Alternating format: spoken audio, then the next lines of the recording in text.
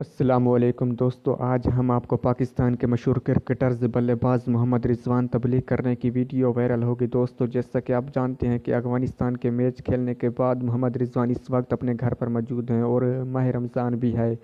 मोहम्मद रिजवान की फैमिली का ताल्लुक तबलीगी जमात से और मोहम्मद रिजवान पाँच वक्त नमाज़ भी पढ़ते हैं। मोहम्मद रिजवान के घर के करीब एक मस्जिद है जो मोहम्मद रिजवान ने संभाली हुई है।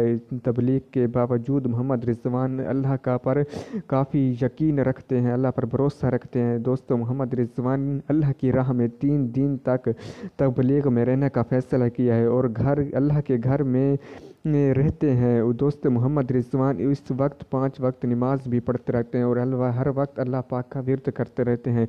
दोस्तों, आपको ये वीडियो कैसी लगी? मोहम्मद रिजवा का अंदाज़ कैसा लगा? कमेंट्स में अपनी राय का इजहार ज़रूर बताएँ। तब तक के लिए अल्लाह हाफिज़।